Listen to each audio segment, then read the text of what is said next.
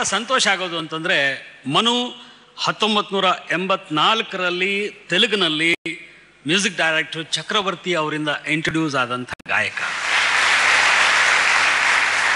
ತಮಿಳಿನಲ್ಲಿ ಇವರನ್ನ ಇಂಟ್ರೊಡ್ಯೂಸ್ ಮಾಡಿದವರು ಇಳೆಯರಾಜ.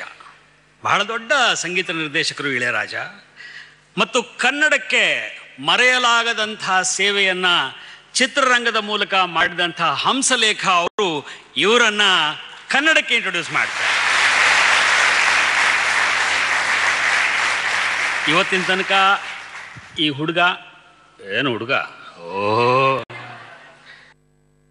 ಮನು ಬಹಳ ಸಂತೋಷದ ಸಂಗತಿ ಅಂದರೆ ಹದಿಮೂರು ಭಾರತೀಯ ಭಾಷೆಗಳಲ್ಲಿ ಹಾಡಿದ್ದಾರೆ. ಮತ್ತು ಇಪ್ಪತ್ತೆರಡು ಸಾವಿರ ಹಾಡುಗಳನ್ನು ಹಾಡಿದ್ದಾರೆ. ಹತ್ತೊಂಬತ್ತು ನೂರ ತೊಂಬತ್ನಾಲ್ಕರಲ್ಲಿ Manu was declared as the best singer in in Tamil Nadu.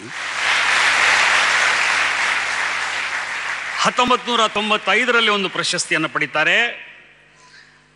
ಈಗ ಹಾಡಿದಂಥ ಹಾಡಿದೆಯಲ್ಲ, ಇದನ್ನ ಮೂಲ ಎಸ್ ಪಿ ಬಾಲಸುಬ್ರಹ್ಮಣ್ಯಂ ಅವರು ತೆಲುಗಿನಲ್ಲಿ ಹಾಡ್ತಾರೆ. ಅದನ್ನು ಈಗ ಮನು ಒಂದ್ಸಲ ಹಾಡ್ತು, ಕೇಳಿಸ್ಬೇಕು ಅಂತ ಅಭಿನಂದಿಸ್ತೇನೆ.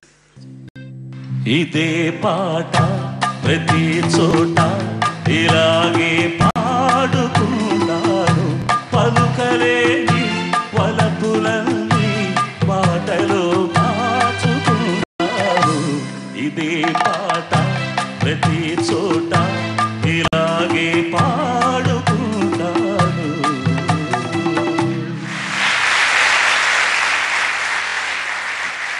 ಸಂಗೀತಕ್ಕೆ, ಸಾಹಿತ್ಯಕ್ಕೆ, ಕಲೆಗೆ ಭಾಷಾ ಭೇದ ಇರೋದಿಲ್ಲ ಅನ್ನೋದಕ್ಕೆ ಇದು ಅತ್ಯುತ್ತಮವಾದ ಉದಾಹರಣೆ. ಕನ್ನಡದಿಂದ ತೆಲುಗಿಗೆ, ತೆಲುಗಿನಿಂದ ತಮಿಳಿಗೆ, ತಮಿಳಿನಿಂದ ಮತ್ತೆ ಕನ್ನಡಕ್ಕೆ ಹೀಗೆ ನಾವು ಅನೇಕ ಕೊಡುಗೆಗಳನ್ನು ಕೊಡ್ತಾ, ತಗೊಳ್ತಾ ಬೆಳೆದು ಬಲಿಷ್ಠರಾಗಿರುವಂಥವರು. Thank you Manu. Thank you much ನಮಗೆ ಸೌಭಾಗ್ಯ ಅಂದರೆ ಮೊಟ್ಟ ಮೊದಲ ಬಾರಿಗೆ ಮೈಸೂರು ರಾಷ್ಟ್ರಗೀತೆಯನ್ನು ಬಸವಪ್ಪ ಶಾಸ್ತ್ರಿಗಳು ಬರೀತಾರೆ ಆನಂತರ ರಕ್ಷಿಸು ಕರ್ನಾಟಕ ದೇವಿ ಅಂಥೇಳಿ ಶಾಂತ ಕವಿಗಳು ಬರೀತಾರೆ. ಶಾಂತ ಕವಿಗಳ ಬಗ್ಗೆ ಬಹುಶಃ ಬಹಳ ಜನಕ್ಕೆ ಗೊತ್ತಿಲ್ಲ ಅಂತ ಕಾಣಿಸುತ್ತೆ. ಅವರು ಬಾಳಾಚಾರ್ಯ ಸಕ್ರಿ ಅವರು. ತಮ್ಮನ್ನು ತಾವು ಶಾಂತ ಕವಿಗಳು ಅಂತ ಕರ್ಕೊಳ್ತಾರೆ. ಈಗಿನವರೆಲ್ಲ ಭಾಷಾ ಕ್ಷಮಿಸ್ಬೇಕು ವೆಂಕಟೇಶ್ ಮೂರ್ತಿ ಅವರು ಮತ್ತು ಕಂಬಾರರು. ಸ್ವಲ್ಪ ಅಶಾಂತ ಕವಿಗಳು. ಪ್ರಶಾಂತ ಕವಿಗಳನ್ನು ಕಾಣೋದು ಕಷ್ಟ ಇದೆ. ಆದರೆ ಶ್ರೀಮಂತ ಕವಿಗಳು ಜಾಸ್ತಿ ಆದಷ್ಟು ನನಗೆ ಸಂತೋಷ ಆಗುತ್ತೆ ಅಂತ.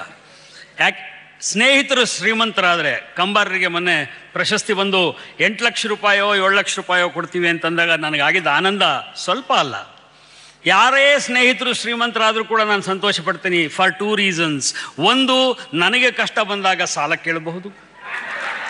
ಎರಡನೇದು, ಅವರು ಕೇಳಲ್ವಲ್ಲ, ಅಷ್ಟೇ ಸಾಕು. ಯಾವ ನಾಡು ಕವಿ ಕಲಾವಿದರನ್ನ ಶ್ರೀಮಂತವಾಗಿ ಇರಿಸುವುದಿಲ್ಲವೋ ಆ ನಾಡು ಉದ್ಧಾರವಾಗುವುದಿಲ್ಲ ಅನ್ನುವ ಮಾತನ್ನ ಹೇಳಲಿಕ್ಕೆ ಇಷ್ಟಪಡ್ತೀನಿ. Dairy day ice cream Kannada ನಮನ